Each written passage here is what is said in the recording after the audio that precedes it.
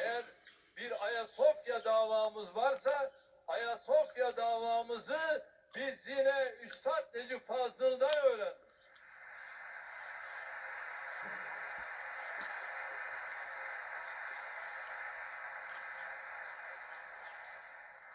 Sultanahmet Meydanı'nda Ayasofya açılacak, Ayasofya açılacak, Ayasofya açılacak derken üstad işte bu manayı, bu ruhu, bu heyecanı ondan yakaladık ve Ayasofya'yı da Allah'ın izniyle açtık.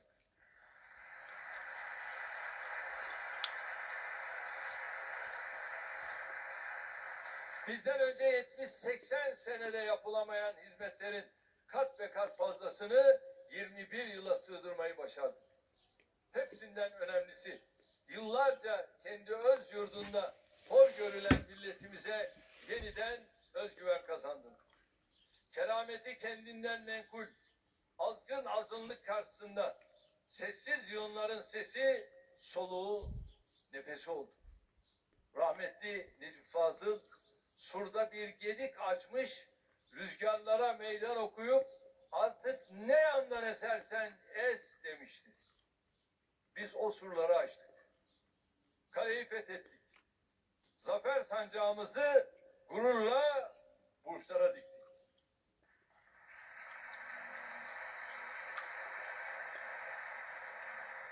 Üstadın Rabbine her elini açtığında zincirlerinin kırılması için dua ettiği Ayasofya'yı 86 yıl sonra ezanı Muhammedilerle seyyidina. Ayasofya ile birlikte Allah'a hamdolsun. Türk'ün Amin. ve Türkiye'nin bahtını da açtık. Tam olarak Maşallah. Üstadın ifade buyurduğu şekilde Ayasofya'yı mukaddesatçı Türk gençliğinin kalbi gibi açtık. Amin. Allah razı olsun.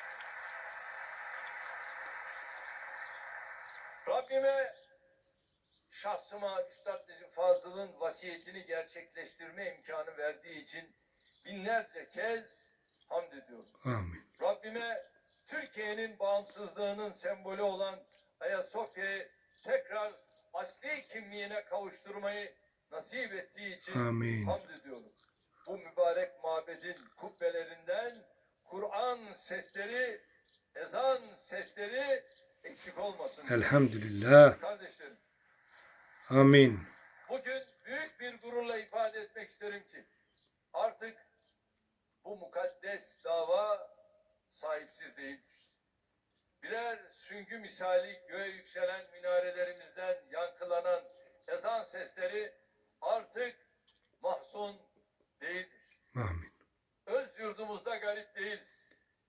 Öz yurdumuzda parya hiç değiliz.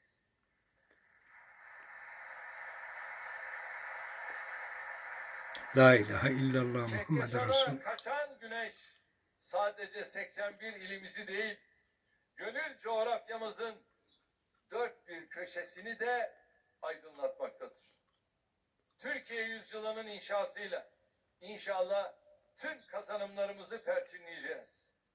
Evlatlarımıza hiçbir endişe duymadan üzerinde özgürce yaşayabilecekleri müreffeh bir ülke bırakacağız uğrunda ciddi bedeller ödediğimiz hak ve hürriyetlerimize hiç kimsenin el süremeyeceği bir demokratik iklimi Türkiye'de muhakkak tesis edeceğiz.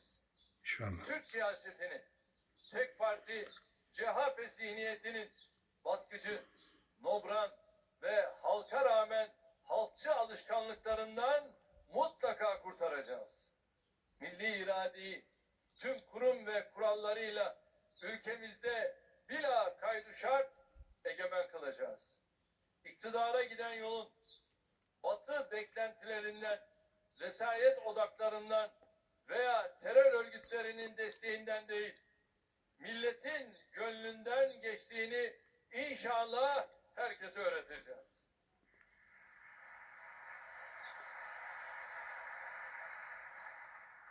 Artık kimse bu milletin evlatlarını aşağılama cesareti bulamayacak. Kimse Anadolu insanına hakaret edemeyecek,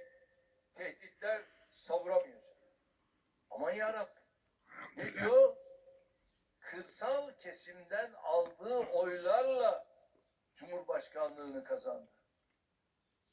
Hani partinizin kurucusu Gazi Mustafa Kemal köylü milletin efendisidir demedi mi?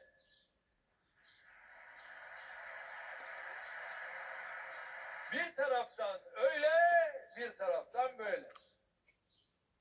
Artık bunu yemezler. Geçti bu iş. Şimdi bu millet daha ileri, daha ileri, daha ileri gidiyor ve gidecek. İnşallah. Sırf o tercihlerinden dolayı kimse vatandaşa parmak sallayamayacak. Milletimizi kimse makarnacı, kömürcü, cahil, göbeğini kaşıyan adam diye tahkir edemeyecek. 14 ve 28 Mayıs seçimlerini gerek üstadın uğruna hayatını adadığı davası, gerek bizim mücadelemiz açısından bir dönüm noktası olarak görüyoruz. Üstad'a göre 14 Mayıs 1950 seçimleriyle birlikte millet başındaki CHP'yi atmıştır.